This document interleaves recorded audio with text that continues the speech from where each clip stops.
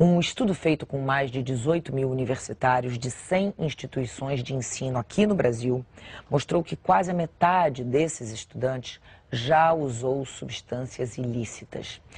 Essa pesquisa da Secretaria Nacional de Políticas sobre drogas revelou também que o consumo de álcool e drogas é mais frequente nos universitários do que na população em geral.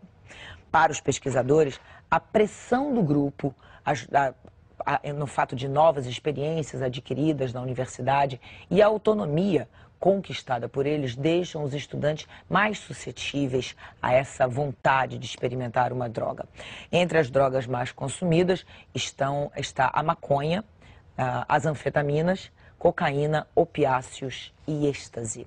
Para falar sobre esse assunto, a gente convidou aqui no estúdio a coordenadora do Núcleo de Estudos de Drogas, AIDS e Direitos Humanos da Universidade do Rio de Janeiro, a professora Gilberta Axelrad. Boa tarde, professora. Boa Obrigada tarde. pela sua atenção de vir aqui conversar com a gente sobre esse assunto. Bom, a gente sabe que é um assunto devastador e, pelo que a senhora estava me dizendo um pouquinho antes da gente entrar no ar aqui, não é um problema exclusivo dos universitários, mas como é que a senhora definiria esse uso tão intenso? Bom, primeiro deixa eu lhe perguntar uma coisa. Lhe surpreendeu esse número quase de 50% de universitários usando drogas? Não, não surpreende. Provavelmente deve ter havido uma. É, na resposta, em geral, essas pesquisas trabalham com questionários anônimos e seguramente há uma subnotificação. Né? O que é uma subnotificação? É, é, Muita gente vai dizer que não, que não usa, quando de fato já usou. Quer dizer, o que acontece de fato é que. Então, nossa... esse, ou seja, desculpa interromper, esse índice é mais alto do que isso que sai pode na pesquisa? Ser que sim, pode ser que sim. E isso não me assusta em absoluto, porque de fato, é, nossa cultura, a cultura brasileira, como todas as outras culturas, conhece, usa e procura as drogas. Né? A, a, já é um lugar comum se dizer que o uso de drogas ele é paralelo, ele faz parte da história da humanidade. É específico de quem tem consciência querer experimentar com a consciência. O Mas problema, isso... de fato, não é usar Mas... a droga. Ah, qual dizer, seria o problema? O problema é o da perseguição às drogas. Quer dizer, a política antidrogas que vigora, não só no Brasil, mas na, na maior parte, em todos os países do mundo, a partir do início do século XX, do século passado, tornou algumas drogas ilícitas e tem como ideal um mundo livre das drogas. Esse mundo nunca existiu e nunca existirá. A senhora, então, é do, partidária daquele grupo que é a favor da liberação? Não é pra, quer dizer, a gente chama, na verdade, é da legalização das drogas. Legalização significa você tornar as drogas. Qual seria o papel do Estado com a legalização?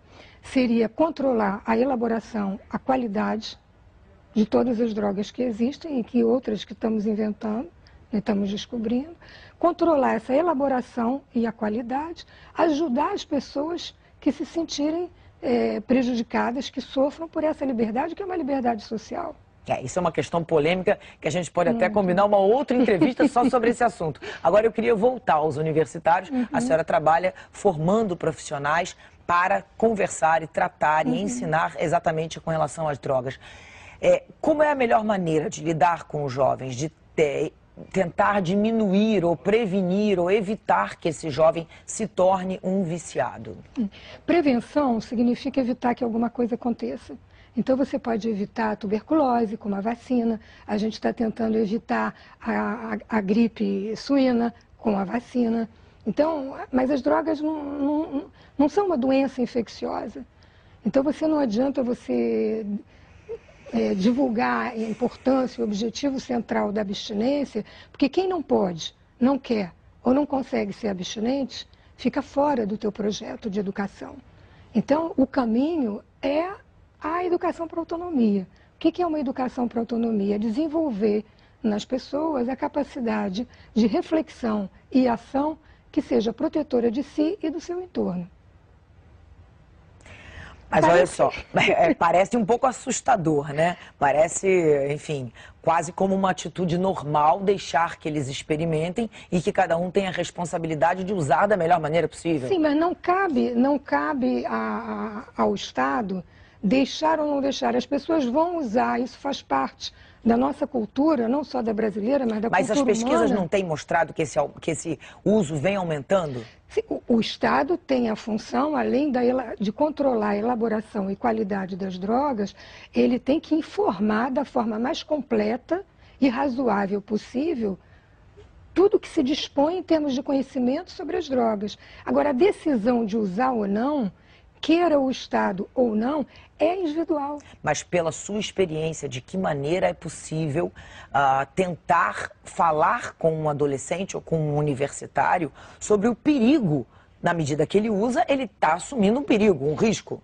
Risco que é maior na medida da interdição de certas drogas. Você consumir maconha hoje em dia, quando o mercado é ilegal, né? Então você não tem um controle de qualidade da maconha, ela vem misturada com outras substâncias. Mas a maconha por si só é perigosa?